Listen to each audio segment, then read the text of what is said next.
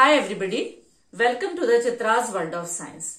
Today I am going to show you a hands-on activity on phases of moon. As you know very well that moon rises near the east and sets near the west. Moon is not having its own light.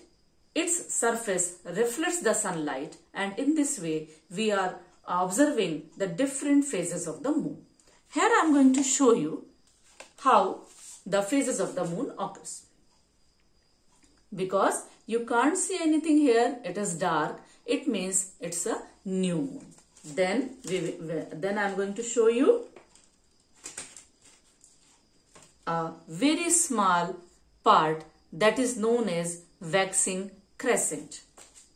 The third phase is, the next phase is, this is well known as first quarter.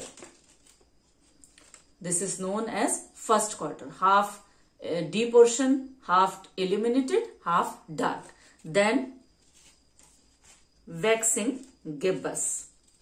In waxing gibbous phase, you can see a very less dark part and other part is very well illuminated. Then the next portion, sorry, the next phase which we can see is full moon.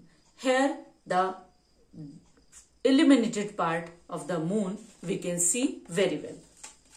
Next, reverse order also occurs when moon rises from east.